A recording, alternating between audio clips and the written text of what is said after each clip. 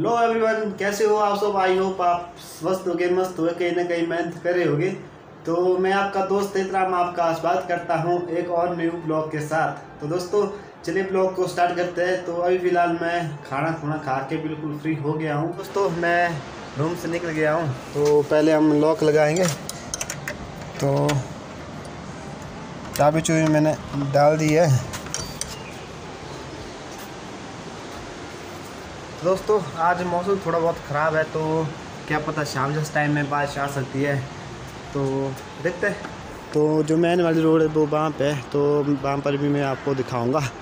तो अभी फ़िलहाल मैं रूम से तो निकल गया हूँ तो देखते बोला, दुकान कब तक पहुँचेंगे? तो वैसे 10-15 मिनट का रास्ता मेरे रूम से दुकान तक का है।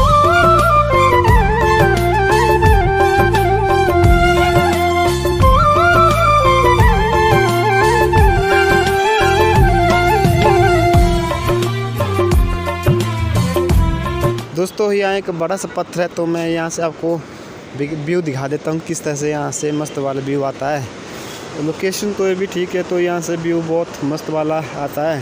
तो ठीक सामने वाला ये पुल है, जो खुनन पुल है। तो ये बस स्टैंड, बंजार और कोट वाली रोड को मिलवाता है। तो जो ये वाला रोड देख सकते हैं आप, ये वाला ऊपर वाला पठाड़ वाला रोड है।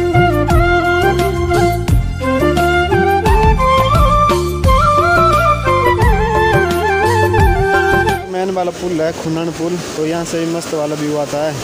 तो आप देख सकते हैं किस तरह से मस्त वाली नदी बह रही है अभी।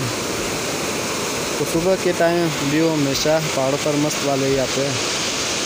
तो जो यहाँ पर है, यहाँ पर राम मंदिर है। तो अभी फ़िलहाल दोस्तों, मैं दुकान में पहुँच गया हूँ। तो ये रहा हमारी दुकान का बोर्ड।